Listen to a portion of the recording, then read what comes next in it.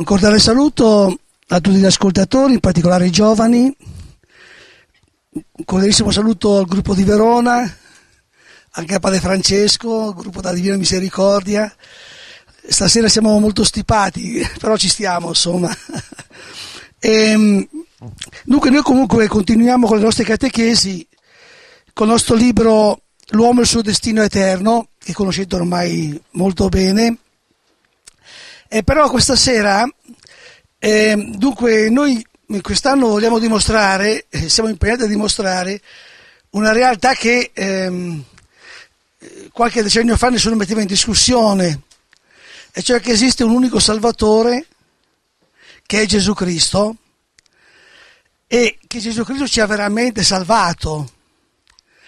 Ci ha salvato eh, da che cosa? Ci ha salvato dalla condizione umana nella quale nasciamo, che è una condizione umana di male e di morte. Ecco, noi nasciamo, cioè l'uomo nasce, noi diciamo che bel bambino, sì certo, se lo vedi eh, nella luce del battesimo un bel bambino, ma se non lo vedi nella luce di Dio, quel bel bambino lì è già destinato a morire. Nasciamo in una condizione eh, la condizione umana è segnata dal male e, e, con la parola male si intende qualcosa di molto, di, di molto grosso, cioè non soltanto il raffreddore, ma il male è eh, il male morale innanzitutto, cioè la propensione che c'è in noi a, farla, a, a fare il male, la cattiveria, la spinta al male. E sappiamo che la cattiveria spinta al male, se non è contrastata fin dall'inizio, diventa qualcosa di tremendo. Infatti nessun animale, neanche il coccodrillo, dico, ha mai fatto quello che fanno gli uomini. Perché gli animali al massimo mangiano un uomo quando hanno fame, capito? Vedi il coccodrillo, ma gli uomini fanno molto di peggio con gli altri uomini. Quindi c'è questo male che è tremendo che è in noi, che si chiama malvagità, che si chiama cattiveria, e poi c'è il male, eh, la sofferenza fisica, la sofferenza morale, eh, e poi c'è la morte. La morte che è un male tremendo perché, perché con la morte, con la morte veramente uno esce da questo mondo. Cioè, che, una cosa che noi facciamo fatica a capire è che con la morte, la morte è veramente una cosa definitiva. Cioè con la morte uno esce da questo mondo. Esce. Magari è ancora presente in questo mondo perché se è in cielo nella luce di Dio, vede, prega, ottiene grazie, però salvo che ci sia una divina permissione o ci sia un comando di Dio, per esempio la Madonna nel messaggio che ha fatto l'altro mese a Miriana ha detto il padre mi ha mandato, cioè il padre l'ha mandata qui sulla terra, viene qui sulla terra, ma perché Dio, se no con la morte uno esce fuori da questo mondo. E se non ha la fede, cosa vuol dire? Vuol dire che uno sparisce. Sparisce. Quindi questa è la condizione umana nella quale tutti sono nati, compresi i ricconi, compresi i potenti. Capito? Non ce n'è uno. La morte è la più democratica, è l'unica democratica che ci sia al mondo. La malattia, la vecchiaia, la morte. Questa, è, questa sì che è democrazia, capito? Nella, nella quale tutti gli uomini sono uguali da questa situazione esistenziale nella quale nasciamo, nella quale tutti gli uomini di tutti i tempi sono nati, eccetto Gesù Cristo, eccetto la Madonna, che non sono nati dal male, dalla cattiveria, da questa situazione, figlioli cari, da quando da Adamo ed Eva in poi fino ad oggi, nessuno ci ha salvati, salvo Gesù Cristo. E chi si salva, chi si salva dalla cattiveria secondo voi? Ma possono fare i figli in provetta. Dico io, dico, voglio trovare quel professore della clinica di Los Angeles che ha detto che lui entro un anno ti fa i figli su ordinazione perfetti. Dico, professore, me ne faccia uno e lo lasci crescere, che poi quello gli taglia la testa. Hai capito? Perché questa è la realtà altro che perfetti, uno può nascere perfetto e poi combinarmi tutti i colori.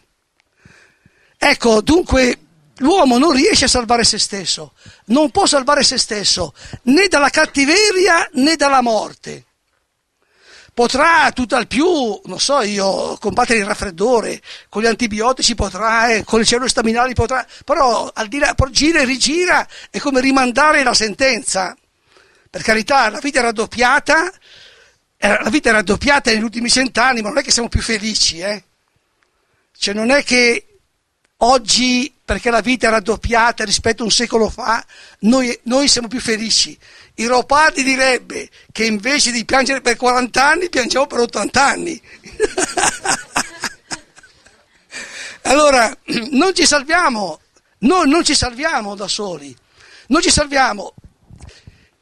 E d'altra parte anche i supposti salvatori dell'umanità, che sono poi grandi leader politici, religiosi, eccetera, erano uomini come noi, erano uomini come noi, anzi peggio di noi.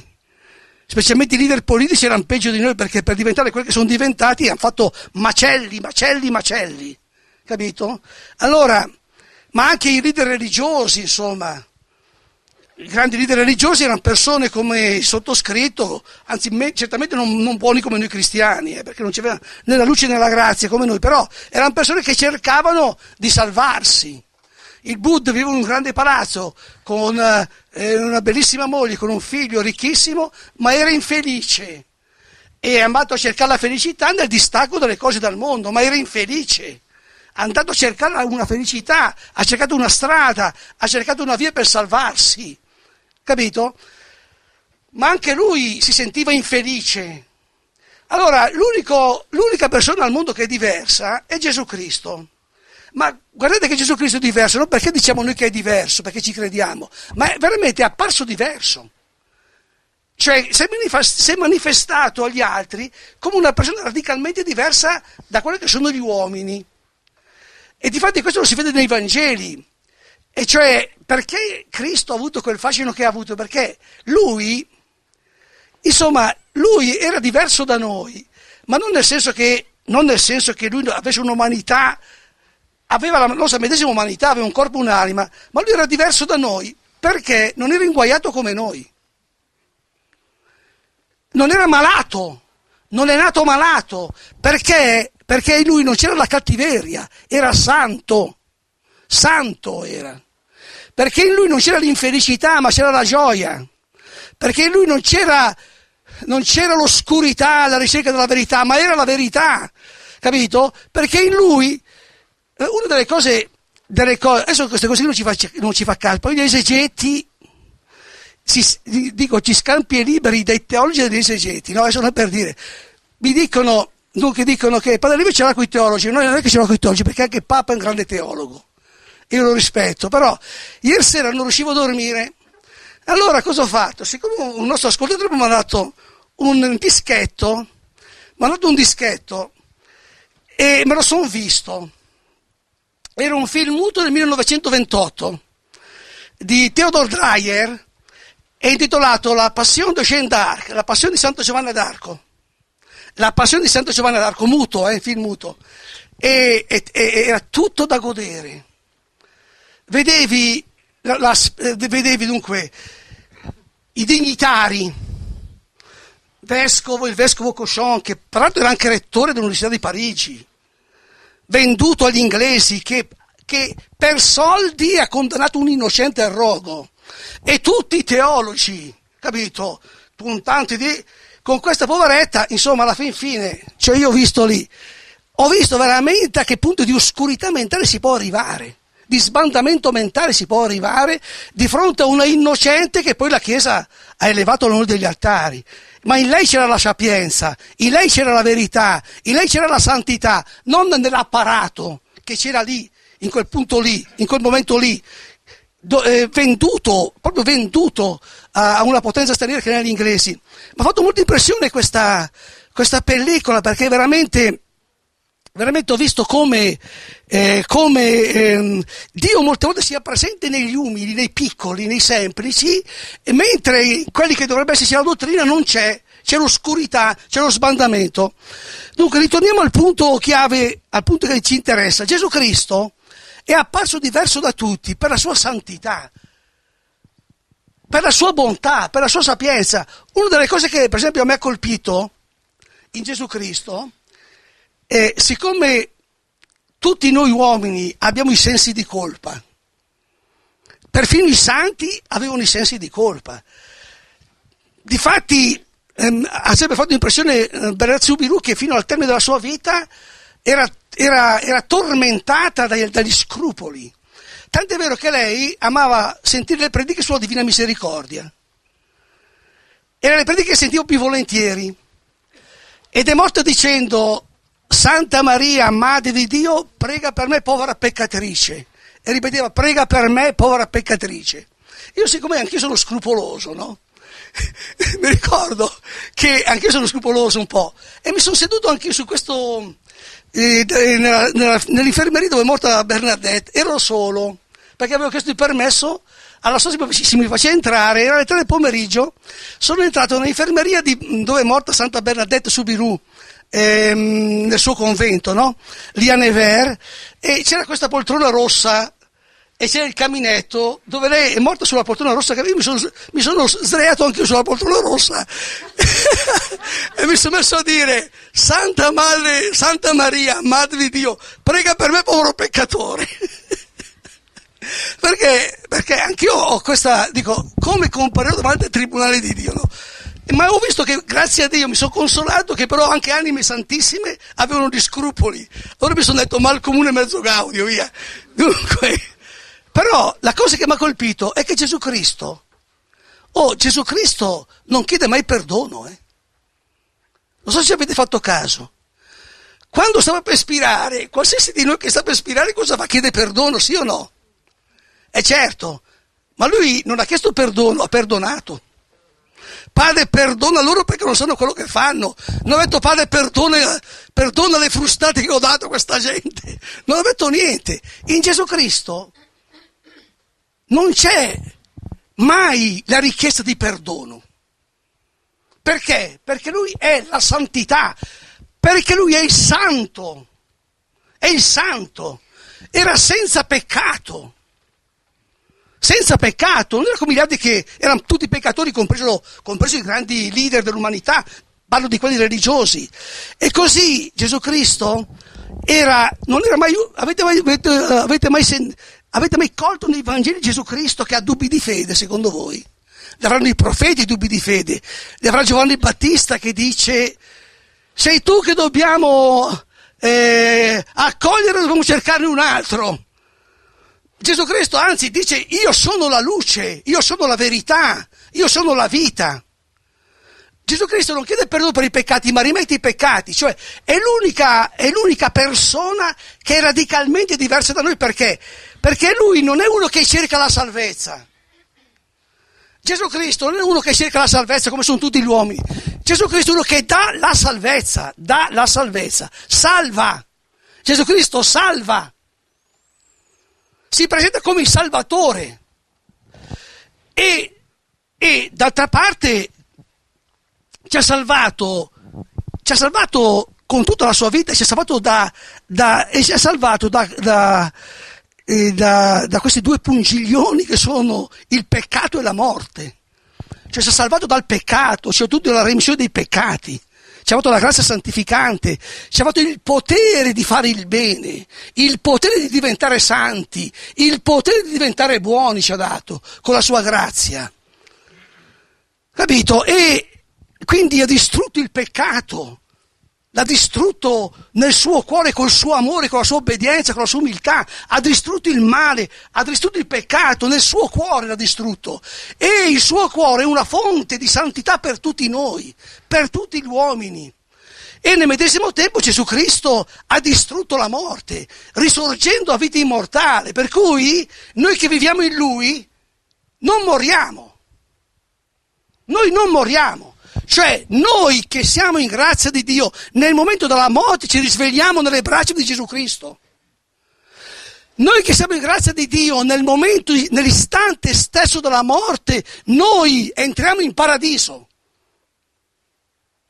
Entriamo, questo lo dice il concilio, tanti concili, ma sintetizzati nel numero 1022 del Catechismo della Chiesa Cattolica, immediatamente nel momento della morte veniamo giudicati e immediatamente inviati in paradiso o all'inferno al purgatorio.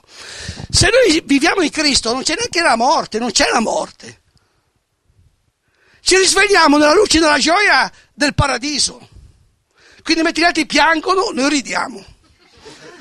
Questa è la realtà. Mentre, mentre diciamo, oh, poveretto, poveretto, e quello fa, poveracci, poveracci. Ma è così, è così. Dunque, che, dunque questa è una cosa evidente, ma quello che vorrei adesso collocare bene, questo che è il messaggio forte, cioè veramente Cristo ci ha salvati, ci ha salvati, ma di questa realtà qua, cioè Cristo ci ha salvati, noi non ne siamo più convinti. Noi non ne siamo più convinti. Ma dico, quando dico noi, dico prima di tutto i popoli che hanno ricevuto la fede. Le nazioni di antica cristianità non ne sono più convinti che Gesù Cristo ci ha salvati.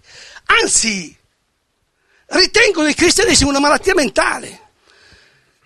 C'è in atto la demolizione di Gesù Cristo come persona. Le hanno fibbiato le amanti, le hanno fibbiato le mogli, le hanno fibbiato i figli, capito? Adesso chissà cosa diranno che non ha pagato le tasse, poi l'hanno iscritto al Partito Comunista dicendo che è il fondatore, poi eh, insomma di tutti l'hanno, eh, lo lavorano i fianchi continuamente, no? Adesso ci dirà che Pannella dirà che è suo, mm, suo parente stretto, eccetera. Sono, in tutti i modi cercano di, di addomesticarselo o di demolirlo o di banalizzarlo o di distruggerlo e naturalmente fanno così anche con i suoi seguaci. Allora c'è in Occidente, come diceva bene Giovanni Paolo II, è nato da, due, da tre secoli a questa parte, dalla rivoluzione francese in poi, il rifiuto di Cristo, il rifiuto di Cristo come Salvatore. Capito? È nato il rifiuto di Cristo come Salvatore. E, ci, e chi ci salva? E ci salveranno i Napoleoni, ci salveranno gli Stalin, ci salveranno gli Itre, ci salveranno... Cosa, chi ci salva? Capito? Ecco, L'uomo salva se stesso, adesso l'ultima è che ci salverà la scienza. Una simile scemenza viene creduta. Cioè pensate, no, difatti Repubblica un giorno sì, un giorno no, ti dice che c'è la pillola dell'immortalità, che comunque con le cellule staminali, quelle embrionali, cioè riusciranno a fare chissà che cosa. E poi c'è la rincarnazione, poi insomma, in poche parole, in poche parole, fortunati quelli che vivranno. Perché l'uomo farà, l'uomo farà con la scienza. Adesso l'ultima è che la scienza salva. Gesù Cristo era un fanatico, era un illuso. I cristiani, meglio eliminarli quanto prima, capito? Dunque, la scienza ci salva, ma scherziamo, la scienza ci ha preparato la tomba. Cosa ha detto la Madonna? Ma la Madonna non dice mai una, una frase fuori posto. Ha detto nel 1947, 47, e cioè praticamente due anni dopo Hiroshima e Nagasaki. Quando incominciava la cosa degli armamenti, la Madonna ha detto Bruno Cornacchiola nella, nell'apparizione lì a Roma, ha detto la scienza tradirà Dio.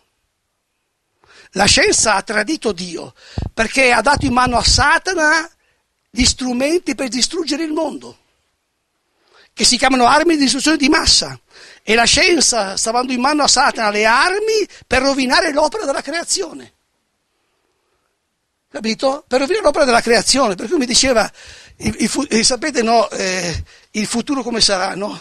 Eh, quando ehm, tutti, c'è la, la, la, popolazione dei nati in provetta, eh? perché ormai, se, sì, ormai i figli sono in subordinazione perfetti, non sono perfetti, nati in provetta, capito? Popol- quando questi qui popoleranno il mondo e vedranno ancora eh, quei, i rimasugli, i superstiti, le coppie che, fanno i figli ancora nel modo tradizionale, diranno eccoli quei trogloditi. Capito? Questa, dunque, la scienza tradirà Dio. La scienza preparerà, questa è la verità, questa è una verità che, vi, che grandi, le, le più grandi menti attuali dell'umanità sottoscrivono come per esempio René Girard, come Charles Lewis, sono i due, i due più grandi antropologi viventi, dicono che siamo arrivati a capolinea, siamo arrivati all'abolizione dell'uomo. L'Apocalisse sta davanti a noi, cioè siamo davanti alla distruzione dell'uomo. Questo è quello che ci aspetta. Cioè, cioè in poche parole, sono qui a spiegarvi quello che ha detto la Madonna nel suo ultimo messaggio del 2 marzo, pochi giorni fa, perché qui le parole sono quelle che contano. La Madonna non dice una parola che sia fuori posto, dice, vi siete persi figli miei. Mai aveva detto una parola così, così forte in 27 eh, anni. Vi siete persi figli miei. Questo è detto all'Occidente. Questo è detto alle nazioni di antica cristianità. Vi siete persi figli miei. Perché? Perché nelle nazioni di antica cristianità ormai, ormai il rifiuto di Cristo il rifiuto di Cristo che può essere militante, esplicito, voluto, ma può essere anche, diciamo così, di fatto, cioè ma l'infischio non mi interessa più, l'indifferenza, capito? L'estraneità, imputtate faccende affaccendati. Allora, questo rifiuto di Cristo è diventato una realtà, questo è il dramma, del, e questo è il dramma che stiamo vivendo oggi. Noi viviamo l'ora veramente di Satana. Noi viviamo l'ora di Satana. Perché viviamo l'ora di Satana? Perché ci siamo, perché, come ha detto la Madonna nel messaggio precedente, ha detto perché siamo sulla via sbagliata, siete sulla via sbagliata, vi siete persi. Perché siamo sulla via sbagliata? Perché ci siamo persi? Perché? Perché nella nostra società, che è una società nata dal cristianesimo, noi stiamo, noi stiamo sbatte- dando lo sfratto a Gesù Cristo. Noi stiamo dando lo sfratto a Gesù Cristo ed è un fenomeno di massa questo, che riguarda non solo quelli che sono fuori dalla Chiesa, che sono anche se battezzati comunque sono militanti contro la Chiesa, eccetera, eccetera, ma riguarda anche i cristiani comuni, che sono fatti sedurre dal falsario e per i quali Gesù Cristo conta poco o niente. Allora, siccome io da, eh, eh, vengo accusato di tanto in tanto di essere apocalittico, di essere apocalittico, eh, che parlo sempre di apocalissi, capito? Perfino una volta un prelato mi chiedeva, ma padrino, ma lei di che parla sempre di apocalisse, di... E io dico, scusi, ma lei non legge il Vangelo? Dico, ma, no, ma guardi, vado a vedere i cinque, vado a vedere i cinque discorsi, dico, le sezioni dei Vangeli che riguardano i discorsi apocalittici di Gesù Cristo. Dico, ma lei l'ha letta l'Apocalisse? Eh, sì, eh, ma sa, ma queste cose, ma queste cose, ma queste cose appartengono alla fede. Dunque, no, no, dico, no, io vorrei sapere se bisogna aspettare di essere cucinati, dico, scusa, eh, io non aspetto, io per primo di uscire fuori, io se, prima di tutto nel fuoco non ci vuole entrare, ma se entro esco subito, non aspetto di essere cucinato. Dico, vorrei sapere per qual motivo io mi devo trovare l'Apocalisse addosso senza che me ne accorga. Gesù Cristo mi dice siate pronti, siate pronti. Allora, vediamo, vediamo cosa dice la Madonna in questi ultimi mesi. Guardate che, guardate che la Madonna, quando parla, sa quello che dice coglie sempre nel profondo, vede ciò che noi non vediamo, ciò che nessun osservatore riesce a vedere, legge anche nei cuori, coglie le situazioni. Facciamo dunque, cominciamo dall'ultimo messaggio, quello del 2 marzo, che è particolarmente drammatico, e dice, cari figli, sono qui in mezzo a voi, guardo nei vostri cuori feriti e inquieti, dove la parola inquieto non suona bene in italiano, bisogna dire senza pace, per tradurlo proprio esattamente, nei vostri cuori feriti e senza pace. Vi siete persi, figli miei. Non so se a voi mi è capitato, a me capita quasi tutti i giorni, perché sono distratto, quando vado in giro con la macchina mi perdo. Mi perdo, perdo la strada e mi perdo. Ecco, quando si perde la strada ci si perde e non si sa più da che parte andare. Vi siete persi, figli miei. Le vostre ferite del peccato diventano sempre più grandi e sempre più vi allontanano dall'autentica verità. Cercate la speranza e la consolazione nei posti sbagliati. Invece io vi offro la sincera devozione che si nutre di amore, di sacrificio e di verità.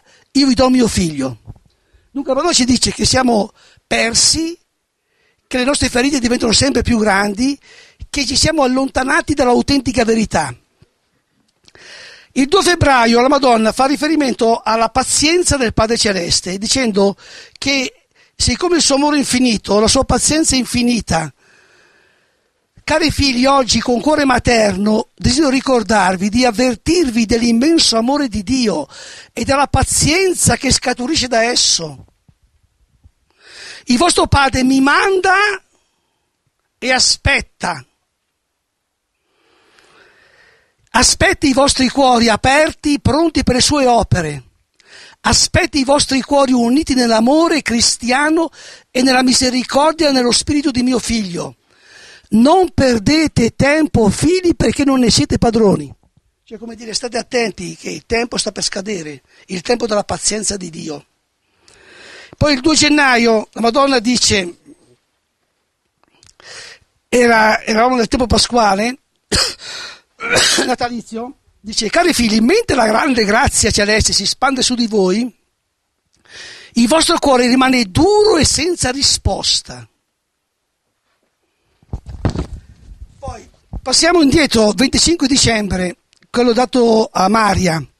Cari figli, correte, lavorate, raccogliete, ma senza benedizione. Voi non pregate. Poi dice che senza Gesù Cristo non avete futuro. Messaggio del 25 ottobre, questo è il più tremendo di tutti. Cari figli, vi invito tutti in modo speciale a pregare per le mie intenzioni affinché attraverso le vostre preghiere si fermi il piano di Satana su questa terra. Qual è il piano di, è il piano di Satana su questa terra? E trasformare questa terra in un inferno di disperazione, di peccato e di morte, portarla alla distruzione e portarci tutti all'inferno. Questo è il piano di Satana. Chiaro?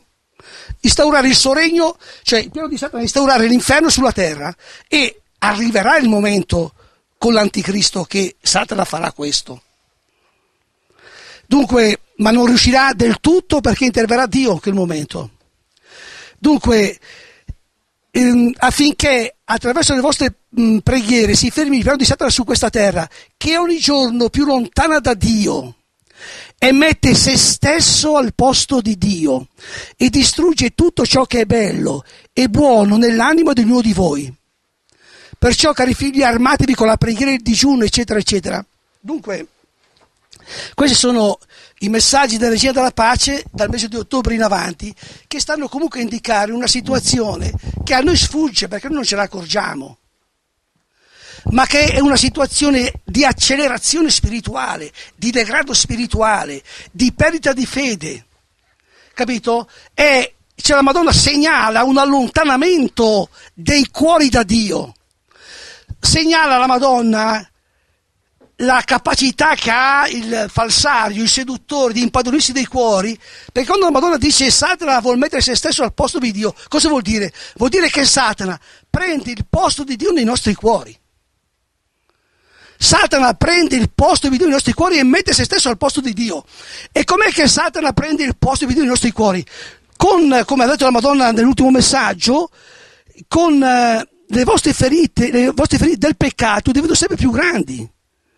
Cioè noi allontanandoci dalla vera fede, allontanandoci da Cristo e commettendo il male, in questo modo Satana prende possesso nei nostri cuori e, e, mette se stesso al posto di Dio nei nostri cuori e distrugge tutto ciò che c'è di buono e di bello nei nostri cuori.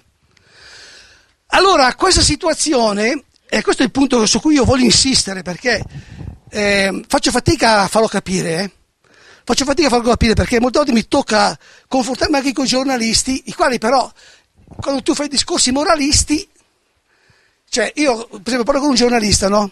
Mi capita a volte, eh, e dico, eh, ci stiamo allontanando da Dio perciò, ma loro, sai, loro i giornalisti dicono, eh vabbè, ma cosa vuoi che metto su già che stiamo allontanando da Dio? No, e dico, guardate che la conseguenza, la conseguenza dell'allontanamento da Dio è un titolo da prima pagina del giornale. Perché la conseguenza dell'allontanamento da Dio è che noi non abbiamo futuro, che andiamo di corsa verso l'autodistruzione. Infatti a me ha fatto, fatto impressione no? che proprio il giorno in cui la Madonna ha dato il messaggio a Viriano dove vi siete persi, figli miei, ho letto i titoli di tutti i giornali, compreso l'Osservatore Romano e l'Avvenire. Tutti i titoli dicevano le borse crollano,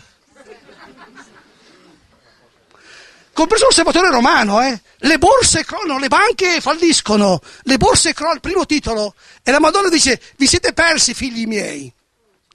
Ma la Madonna cosa ha detto a Natale? Ha detto, cari figli, vi invito tutti in modo speciale, no, a Natale, eccolo qua, cari figli, correte, lavorate, raccogliete, ma senza benedizione. Ha voglia tu, ha voglia tu, cioè quello che io voglio dire, la catastrofe spirituale è sempre la radice della catastrofe materiale. La guerra fra gli uomini è sempre il risultato della guerra che gli uomini fanno a Dio. Quando gli uomini fanno la guerra a Gesù Cristo, aizzati da Satana, arriva il momento che si distruggono fra di loro. Ma questo, la Madonna, L'aveva già detto chiaramente nel messaggio di Fatima, nel segreto di Fatima. Ha detto se il mondo non si convertirà, avrete una guerra peggiore di quella che fu chiamata la grande guerra, le inutili strage. E ha detto anche i segni. Ha detto sotto il pontificato di più un decimo che non c'era ancora più un decimo. C'era brevetto, c'era il brevetto quindicesimo. Ha detto sotto il pontificato di più un decimo. E ha detto pure che avremmo visto un segno nel cielo. E fu la grande aurora boreale, secondo Sor Lucia, del 1938. E nel 1939 incominciò la guerra con l'invasione della Polonia da parte, da parte della Germania. Dunque, vedete che le catastrofi spirituali stanno alla radice degli eventi. E la Madonna ci ha detto ancora una volta che se non torniamo a Gesù Cristo non c'è futuro. Non c'è futuro.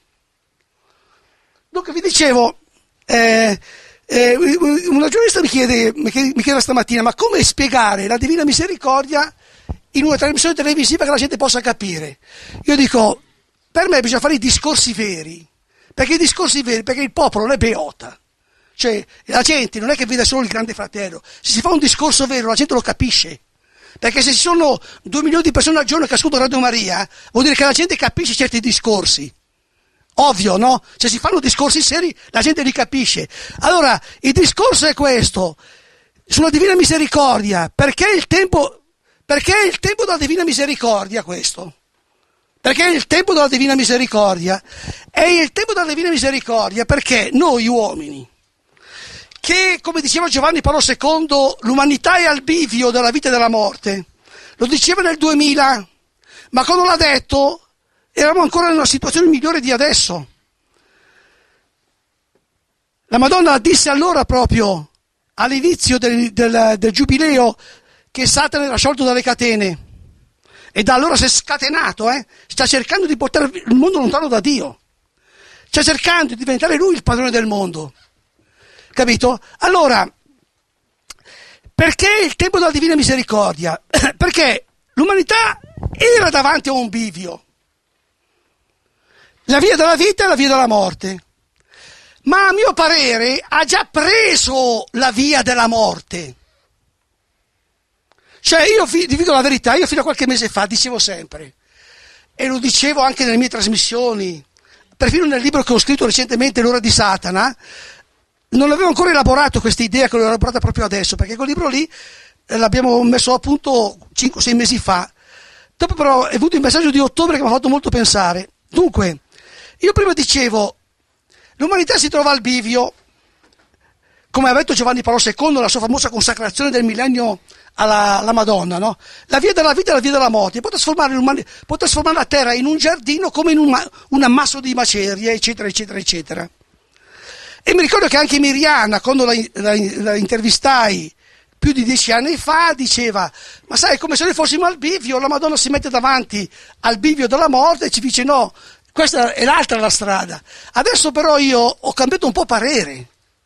Ho cambiato parere perché la Madonna, eccolo qua, nel messaggio del 25 gennaio la Madonna ha detto, io sono con voi così a lungo perché siete sulla strada sbagliata.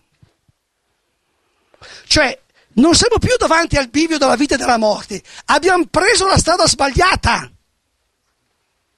Difatti la Madonna cosa dice adesso? Vi siete persi.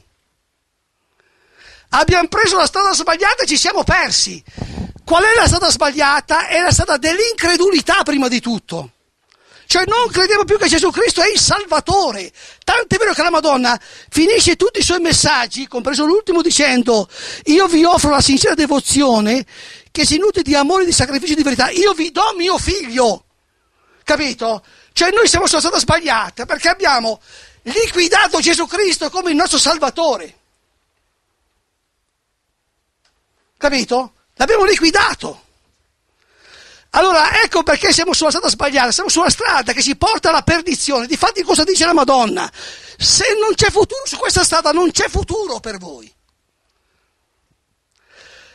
Questa è la realtà di oggi, cari amici, non facciamoci illusioni. Questa è la realtà di oggi, però vi dico questo, non per deprimervi, perché io sono convinto di questo. Dunque, la misericordia in cosa consiste? In questo Attenzione dov'è la misericordia. Noi, nonostante i 27 anni che la Madonna è qui, nonostante, nonostante, nonostante che abbiamo avuto i papi che abbiamo avuto, la luce che abbiamo avuto, le grazie che abbiamo avuto, nonostante tutto questo, noi abbiamo sbandato, abbiamo preso la via del male. Abbiamo fatto quello che ha sempre fatto il popolo di Israele, tale quale, capito? Appena Mosè se ne andò sul monte, costruì un vitello d'oro. Questa è la situazione. Ma, ma, allora, allora, la misericordia sapete in cosa consiste? Che nonostante che abbiamo preso la strada sbagliata, la Madonna ci salva lo stesso. Questa è il succo, la misericordia è questa. Meriteremo un sacco di legnate, meriteremo un falò universale, ma Dio non se lo può permettere. La Madonna è qui come regina, è qui per vincere, è qui per, per e, e, quindi, e, quindi, eh, e, quindi, ci salva. Dunque, oggi, oggi pensavo, pensavo, siccome devo scrivere un libro sui dieci segreti prossimamente, allora sto aguzzando, sto aguzzando l'intelletto. Dunque, perché, dunque, mi sono chiesto perché, nonostante che abbiamo preso la strada sbagliata, nonostante che siamo sulla via dell'incredulità e dell'immoralità, perché la Madonna ci salverà lo stesso. E in questo consiste la sua misericordia. Saremo salvi lo stesso, se no è inutile che costruisca la sede di Radio Maria, scusate, avete pazienza. Dico,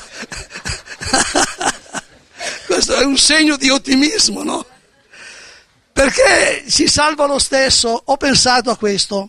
Dunque, pensiamo a Sodoma e Gomorra. Sodoma e Gomorra sono due realtà concrete non credete a, a, quegli autori biblici che dicono che sono... Eh, no, no, Sodoma e Gomorra ci sono. Voi andate, andate a visitare Gerusalemme giù al al mar Morto, vedrete eh, le montagne là lontane bruciate dallo zolfo, eccetera, dove sono sepolte Sodoma e Gomorra. Dunque non è che siano cose campate per aria. Sodoma e Gomorra sono state distrutte, giusto? Perché sono state distrutte? Perché, perché Abramo, pregando Dio di salvarle, non riuscì a esibire a Dio neanche cinque persone che fossero giuste. Hanno fatto una trattativa, almeno 50, almeno 30, almeno 20, ma poi alla fine ce n'erano neanche 5. Ce n'erano neanche 5. Per cui Sodoma e Gomorra sono state distrutte. Allora, invece stavolta, stavolta è diversa la questione, perché 5 ci sono. Cinque ci sono, sono quelli che hanno risposto alla chiamata. Lo dice la Madonna, pensate, eh? Perché che la Madonna è veramente straordinaria, non, non toglie mai la speranza. Eh? Non mai la speranza. Guardate cosa dice nel messaggio famoso del 25 gennaio, dove dice io sono con voi così a lungo perché siete sulla strada sbagliata, soltanto col mio aiuto figlioli aprirete gli occhi. Però ha detto anche, e questo non bisogna mai dimenticarlo perché ci consola tanto e ci dà tanta motivazione ad andare avanti, dice, ci sono tanti, non cinque, tanti, che vivendo i miei messaggi comprendono che sono sulla strada della santità, cioè quella giusta, e verso l'eternità. Ecco perché dico, eh, in che cosa consiste la divina misericordia? Che nonostante che il mondo sia sulla strada sbagliata, tuttavia Dio farà misericordia al mondo, lo salverà, perché ci sono ancora tanti che sono sulla strada della santità e sul cammino verso l'eternità. E questo dunque e questa, questa, considerazione è molto importante perché se no, ascoltando i messaggi di questi ultimi tempi, noi abbiamo l'impressione quasi di dire ma qui, cosa dico qui, cosa, dico, non, c'è, non, c'è, non c'è possibilità di salvezza, uno dice, capito? Allora la Madonna dà una descrizione della deriva attuale del mondo, cioè molti mi dicono, ah, ma deriva è successo questo, no? Per esempio, le, le cretinate, no? Ah, Miriam non avrà più l'apparizione del capannone. Ma chi se ne frega? Dico, ma dico, non so. Dico, io fossi io la Madonna del capannone se me ne è andato, dunque comunque. Dunque, state, uno mi scrive, Miriana non ha più l'apparizione del capannone, che sia arrivato il tempo dei dieci segreti. Ragazzi, ma scherziamo.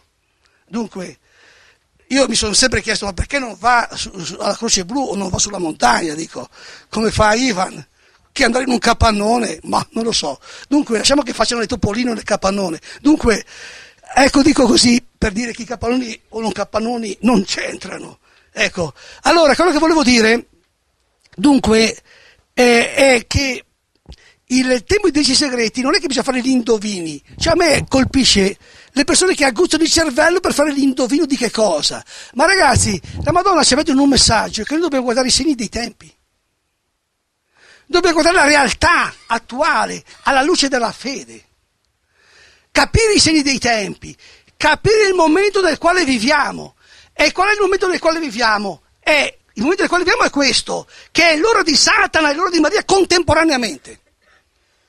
Cioè dobbiamo essere consapevoli che viviamo in tempi in cui non c'è più concesso di perdere tempo, di siamo in tempi in cui dobbiamo uscire, come dice la Madonna, dal sonno stanco delle nostre anime. Questi sono tempi importanti. Non è mai accaduto che la Madonna apparisse per 27 anni di seguito e che avesse un eco universale come oggi ad ogni messaggio che dice, seguita da decine e decine di migliaia di sacerdoti, da milioni di fedeli. Non è mai successo un evento così grande, così importante. Perché? Perché siamo una svolta nella storia dell'umanità. Siamo un momento in cui Satana vuole distruggere il genere umano. Se non si capisce questo, non abbiamo capito il momento nel quale viviamo. Né noi né i nostri figli. Cioè cerchiamo di capire che siamo in una svolta storica. Altro che crisi economica. Qui la crisi la crisi non è una crisi economica, qui siamo, e non è neanche una crisi di civiltà, qui è in forse l'avventura umana. Il mondo può finire per autodistruzione perché noi abbandoniamo Gesù Cristo. Vi dico, a parte il fatto che ci sono le possibilità per, per trasformare il mondo in un inferno, e lo vediamo, Satana scatenato, l'ho mai visto scatenato da quando sono vivo come in questi ultimi tempi dove la massima crudeltà ti viene presentata come la massima misericordia. C'è il cambiamento di tutti, di tutti i significati delle parole. La massima crudeltà, cioè la massima crudeltà, cioè ammazzare una persona, ti viene presentata come atto di misericordia. La massima, la massima misericordia, accudire per 17 anni una persona, ti viene presentata come la massima crudeltà. Siamo di fronte alla falsificazione generale. Siamo al più grande attacco di Satana alla, storia, alla, alla stessa sopravvivenza del genere umano, cioè ci allontaniamo dalla verità, ci allontaniamo dalla luce, ci allontaniamo da Dio. Non accettiamo più Gesù Cristo come Salvatore, questa è la più grande crisi spirituale che abbia mai vissuto l'umanità, ma questa crisi spirituale è tale da provocare la fine del mondo. Questa è la tesi che non riescono a capire, ma questa è una tesi biblica di prima qualità. perché l'ha detto Gesù Cristo. Se non vi convertirete, perirete tutti. La Madonna ce lo dice dolcemente, perché è una mamma, e ci dice che senza Gesù Cristo non abbiamo futuro. Gesù Cristo ha detto se non vi convertite perirete tutti. Noi siamo in questo punto della storia dell'umanità che se non ci convertiamo periamo tutti. Periamo, cioè la, la, la, l'infedeltà a Dio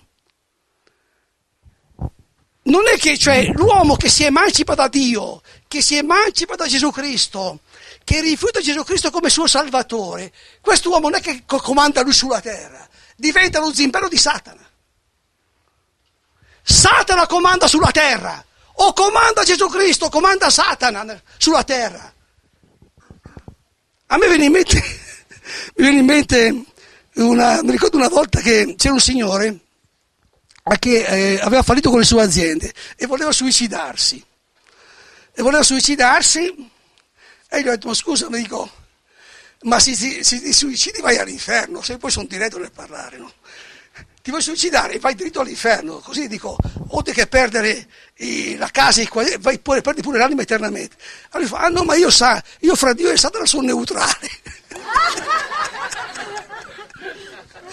cioè metteva Dio a destra, Satana a sinistra, lui si metteva al centro. Dico, ma sai, io sono neutrale, ma ragazzi, no, qui non c'è o di qua o di là, capito? O siamo di Cristo o siamo in balia del demonio. E, e allontanandosi da Dio, dalla verità, da Cristo, dalla luce, dalla pace, dalla gioia, noi, noi mettiamo il mondo a rischio di futuro, questa è la realtà nella quale viviamo. Guardate che, guardate che, la Madonna è ultimativa, sapete, è ultimativa. Anche il fatto che ci dice grazie perché avete risposto alla mia chiamata, sapete perché lo dite? Io mi chiedo, mi sono chiesto mille volte, all'inizio non capivo, poi a forza di, non a forza di pensare, però la Madonna mi ha fatto capire. Cioè, perché la Madonna, dando i messaggi alla parrocchia, dice grazie perché avete accolto la mia chiamata. È bello che lo dice che quando si lamenta che non l'abbiamo ascoltata. Eh.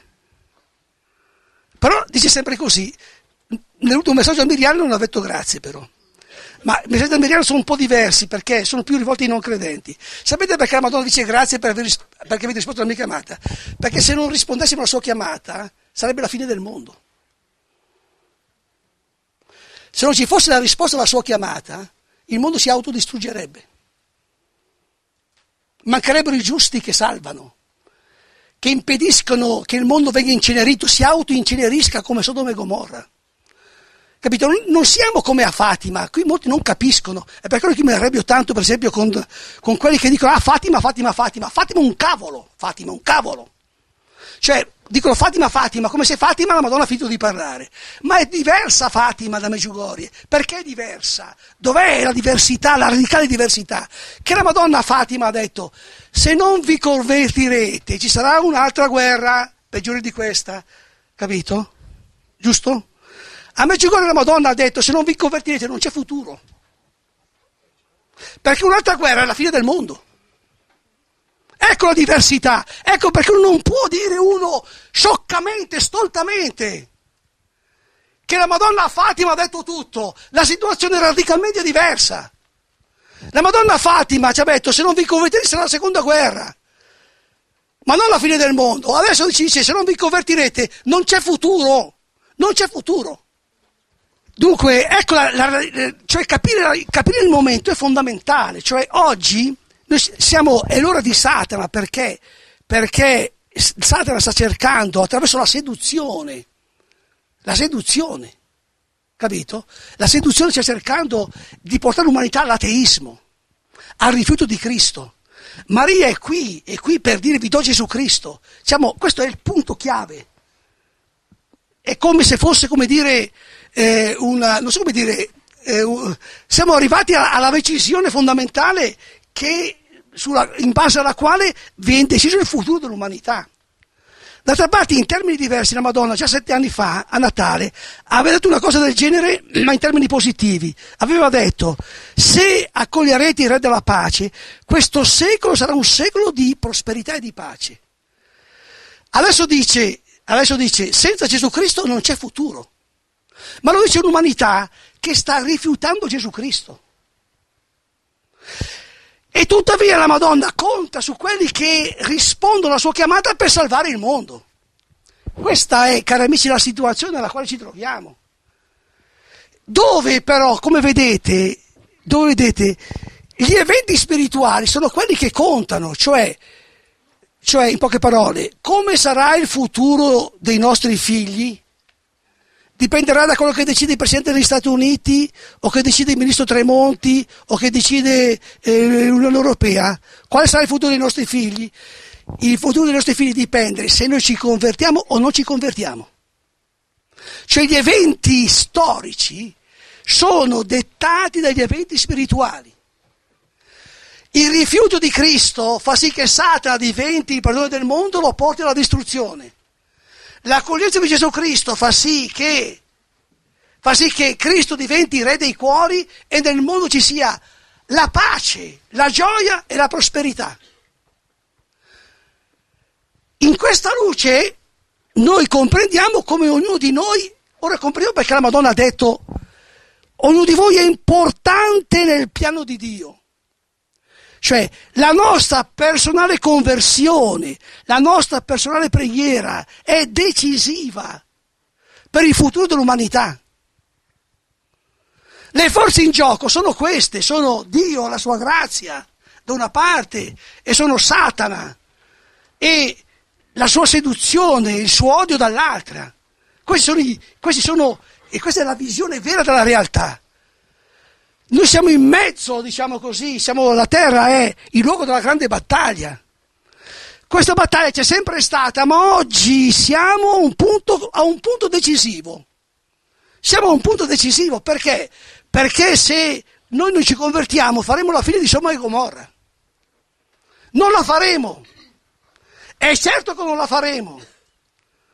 Perché non siamo alla fine del mondo. Capito? Non siamo alla fine del mondo. La fine del mondo, attenzione, la fine del mondo la provocheranno gli uomini, la fine del mondo. Infatti, giustamente, il Catechismo della Chiesa Cattolica la colloca in un sovvertimento generale, ma anche, anche l'Apocalisse, dei cuori. Cioè, gli uomini che si ribellano a Dio provocano la fine del mondo. Noi stiamo facendo qualcosa del genere, ma siccome, siccome la Madonna riuscirà a vincere questa battaglia, avremo un tempo di primavera, un tempo di pace come lei ha detto. Però quello che vorrei mm, che si capisse bene è il tono accorato della madre in questi ultimi mesi, cioè con le lacrime agli occhi. L'ultima, nell'ultima apparizione la Madonna era t- molto triste e non ha neanche salutato, eh, come al solito, dicendo grazie. La Madonna era molto triste, vorrei che cogliessimo, eh, proprio perché siamo in Quaresima, questo aspetto accorato dalla madre che bussa ai nostri cuori, perché noi col nostro amore, con la nostra fedeltà, con la nostra risposta, eh, colmiamo il vuoto che c'è. Cioè dobbiamo rispondere anche per chi non risponde. Dobbiamo amare anche per chi non ama. Dobbiamo pregare anche per chi non prega. Dobbiamo sacrificarsi anche per chi non si sacrifica. Dobbiamo essere fedeli anche per chi non...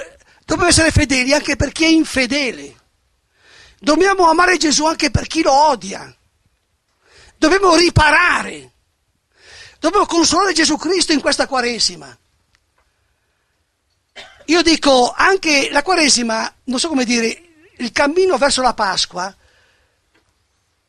deve essere un cammino dove noi cresciamo in amore verso Gesù. Perché i sacrifici, le preghiere, i fioretti, i digiuni servono a niente se non ci aprono il cuore verso Gesù Cristo. Diventano, come si dice, esercizio, esercizio di autocompiacimento. Capito? Infatti Repubblica tre giorni fa eh, una pagina dedicata come i cattolici fanno la quaresima compiaciuta, eh, rinunciano gli MSS, fanno qua, fanno là. Però in tutto l'articolo c'è la parola conversione. Quella, quella fa paura a Repubblica, la conversione, capito? Dunque, questo dico perché, eh, perché non so come dire, la Madonna di che si lamenta in fondo? Mica si lamenta perché non amiamo lei, si lamenta perché abbiamo abbandonato Gesù Cristo. Perché non lo amiamo? Perché non corrispondiamo? Perché non lo accogliamo? Lei l'ultima sera dice, vi do, io vi do la vera devozione, vi do mio figlio. Allora, quello che io vedo quello che io vedo nella cristianità, vedo questo, che pochi amano Gesù Cristo. Pochi amano Gesù Cristo. Allora, allora, come si fa ad amare Gesù Cristo?